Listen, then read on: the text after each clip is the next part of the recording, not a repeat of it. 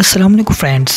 In this video I will show you how to install a new font family in your Visual Studio Code editor. So guys let's start. This is my VS Code settings and here currently here is the custom font installed in Visual Studio Code. I am going to install new font family in my Visual Studio Code here is the list of best VS Code fonts for web developers.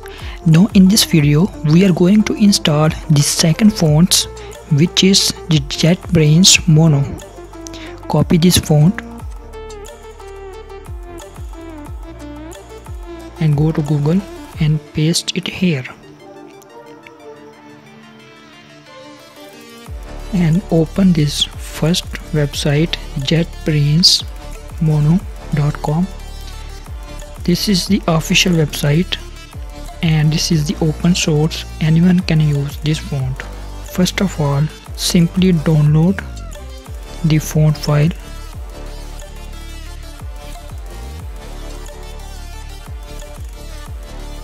Just wait to download the file. Our file has been downloaded. Open this file and open the fonts folder. And after that open the ttf file folder. And install all these fonts files one by one. Select all files and open all these files on single click. After the all files have opened and just hit the install button and install the all font files one by one. Now I am installing the font files in my computer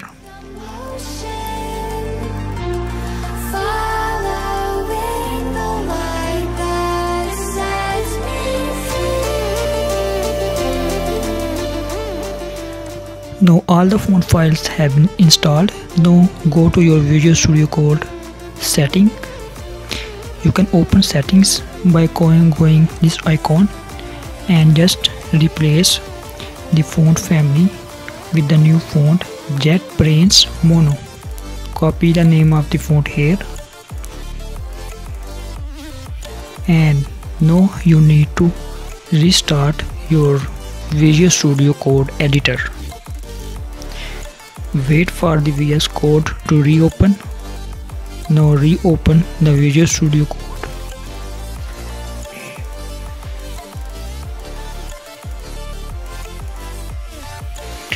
Now you can see that our font family have been changed. This is the new fonts the font style have been changed